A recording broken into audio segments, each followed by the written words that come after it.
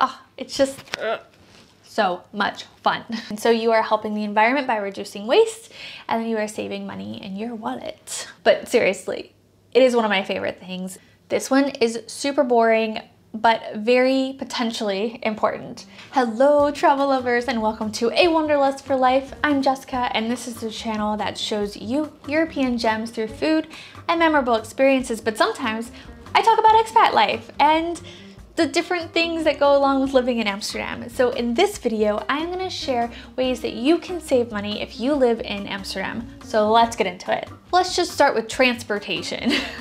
there are multiple ways to save with transportation costs. The first one is buy a bike. You buy a bike once, all you have to do is keep up with it, make sure nobody steals it. So you do need two locks, but having a bike means that you are gonna be using public transportation less, which means you pay less.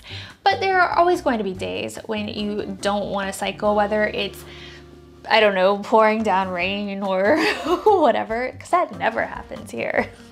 Jokes, it always happens here. But anyway, if you want to ride the bus and the metro and the tram, then you can check out the GVB Flex Pass.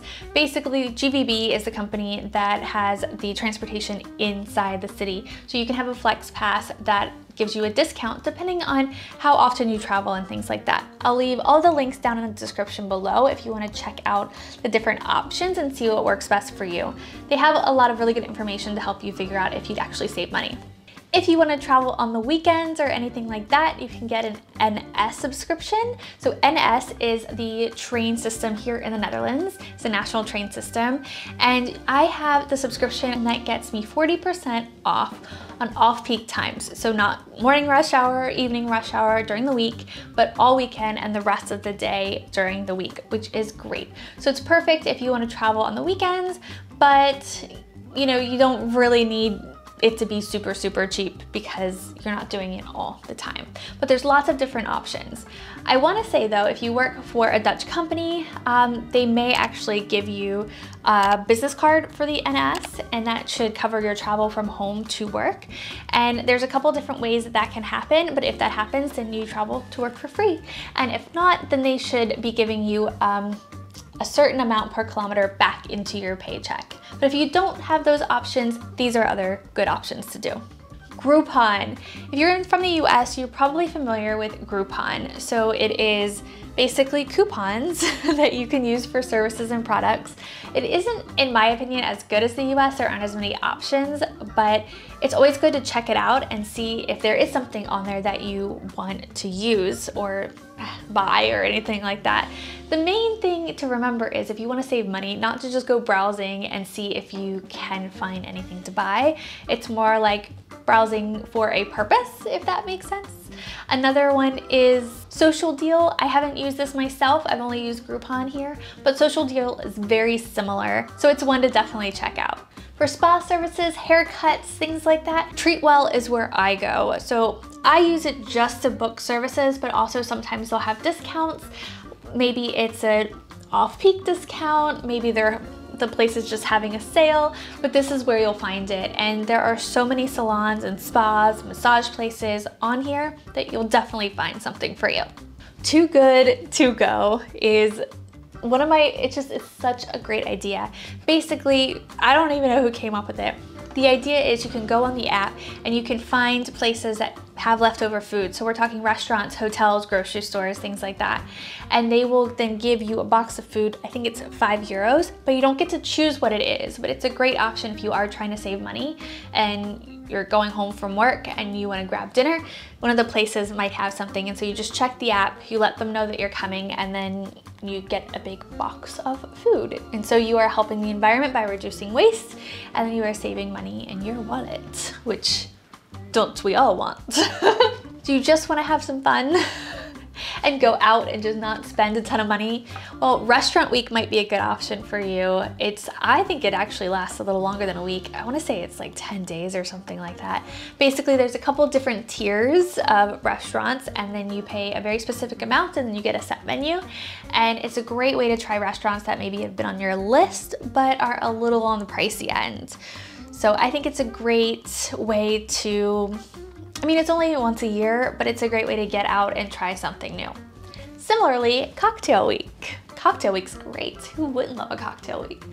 Great way to try new cocktail bars, new drinks, stuff like that. They're usually on a discount, I believe, but just the idea behind it it's a great way to get involved with the city, um, meet these entrepreneurs and these bartenders. Oh, it's just so much fun. And my favorite, hotel night. I have so many videos on hotel night. They're very, um, shall we say niche videos?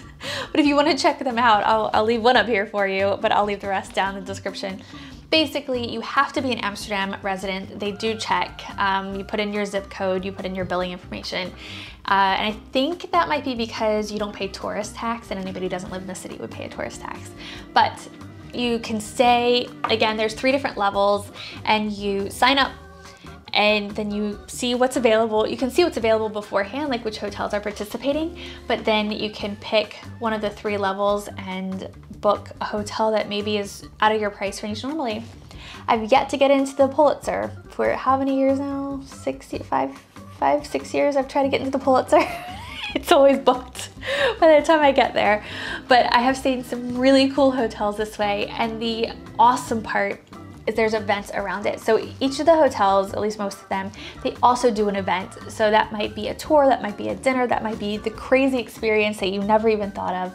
Like there's been hot tubs at the top of um, the Doubletree by Hilton, by Central Station, like outside overlooking the city. Uh, we've done some incredible food events, but seriously, it is one of my favorite things. If you didn't know about it beforehand, look it up because I think you'll like it. And don't you wanna know what hotels to recommend to friends and family? Buy a museum card. This, like, if you live here and you don't have a museum card, what are you doing with your life? Because A, it helps the museums, and who doesn't want to help the museums? And B, it might get you to get out there and see the museums if you're not a museum person like me. Now, it isn't for every single museum in the city, but it is for most of them and it actually is for museums all over the country. This is not just an Amsterdam thing. I just think it's a great use of money. It's not that expensive, about 60 euros I think, but it is just, it is so, so worth it and it does last a year. So all year round you can just go after work or go on the weekends and there's something to do just built in. If you want to save money on groceries, the most obvious choice here in the city is markets. Go to the outdoor markets. There's one in every single neighborhood. It may not be flashy or fancy and people may not know the name like Albert Cuyp Market. That's okay. I would go as far to say, I think the local markets are even better than the ones you know about. It's just my opinion. But I really, I really do believe that. I've been to a couple of the tiniest ones on the tiny squares and they are just so much better because the prices are really low, it's good quality stuff, and people know people. Like, it just feels very community oriented. You know what I mean? Rewards cards. So who doesn't have a card for a store? If you're from the US, you probably have a dozen cards at least. So here it's the same thing. You can get one for the grocery store, for the drugstore, for so many different places. And you definitely want to keep using them because it is just free points that will get you something in the future or discounts that you can't get without it. So definitely, definitely do that. Similarly, use air miles. Sign up for that because with um, Albert Heijn, which is one of the main grocery stores, and Etos, and a couple other shops, you get points automatically and then you can use that for money off your grocery bill or other discounts or just um, priority to certain events and stuff like that. Again, it's just stuff you're getting anyway could get you more stuff that you would really love. So there's no reason not to get it. This one is super boring, but very potentially important. Shop around for your insurance. Now there is a basic insurance that is gonna be the same for absolutely everybody, but I'd say a lot of people use different parts of their insurance and they wanna add different modules and things like that. So if you're planning to have a baby, you would want kind of what I would just call like a maternity module. They're not gonna be all the same. So you wanna look at that. You wanna look at maybe how often you can change things about your insurance. So there's lots of different things. Like I have um, the extra insurance for alternative care. And that means like I can go to the chiropractor and stuff like that and I don't pay the whole bill. So like just like little things like that you want to check and make sure that you are covered the way you want to be covered. You have the best service and at the best price and that is a great way to do it. There's a great website um, to compare that I'll leave down in the description. And back to travel because when isn't my mind on travel? train tickets. So I talked about the NS um, subscription, but even with that, sometimes I try this website, I'll leave it down there, and you'll find discount train tickets, like a day pass or a weekend pass or something like that, that somebody's selling. So maybe Kruidvat, which is one of the drugstores, maybe they're selling it, drugstores, CVS, Rite Aid, just wanna, that kind of store. um, so you can get them there and then you usually go and you just ask for that and that, you know, you pay for it and it can be cheaper than even with a discount. But you will wanna check on 9292 you can use the num numerical numbers um, .nl on the website or get the app, which I would recommend, and you can see how much the journey would cost. Keep in mind, this discount train ticket is for the trains only, so it is not for getting to the train station on the Amsterdam side or getting to the trains or getting from the train station on the other side. So keep that in mind when you're looking at the prices. And lastly, buy secondhand. Yep, so I don't know if you're familiar, but Amsterdam has the largest flea market in Europe. Mm-hmm. it is once a month in Amsterdam Nord, where I live, and it is called IJhalle. I-J H-A-L-L-E-N. I don't know. Of course, I'll link it for you, but it is great for secondhand stuff. We also have so many secondhand stores, whether it is thrift shops for clothes or secondhand furniture and things like that. So many of them you should not have a problem finding really anything. The problem might be finding a way to get it home if you're buying anything big. But as far as finding it, not a problem. We also have Marktplaats, which is kind of a combination between Craigslist and eBay that a lot of people sell on. Of course, there's Facebook. My favorite is rebuy.nl, R-E-B-U-Y.nl. Just my favorite. One of my camera lenses I bought on there my um, Bose earbuds that are noise canceling I bought on there. Basically, it's electronics that are refurbished and they come with a warranty, which is perfect. But they're clean, sanitized, tested, all that, and you can buy like different levels, whether it's used, lightly used, you know, new, new package, whatever. I love that website so much, highly recommend it. If you have found this helpful, please go ahead and like the video, share with anybody that you think might be helpful. Did I forget anything?